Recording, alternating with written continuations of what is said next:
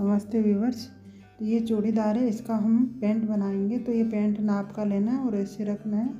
और यहाँ से नीचे से हम दो इंच फोल्ड करने के लिए लेंगे। जितना भी हम फोल्ड करेंगे, उतना एक्स्ट्रा ले लेना है। और इसको कट कर लेना है और दूसरी साइड ऐसे रख के उसको भी हम कट कर लेंगे। और फिर इसको पलट के हम सीधा कर लेंगे। और ये पेंट लेना इसकी जितनी भी मोरी है, उतने पे हम निशान लगा लेंगे ऐसे। और जो ये सिलाई पहले लगाई हुई, उसको हम निकाल लेंगे। और यहाँ से नीचे से हम मोरी को फोल्ड करके और ऐसे सिलाई लगा देंगे।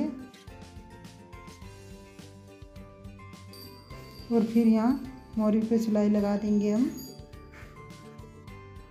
ऊपर से ऐसे ही दिखता है, पहनने में नहीं दिखेगा। बहुत अच्छी लगेगी पहनने के बाद।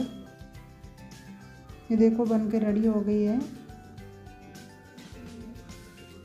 Thank you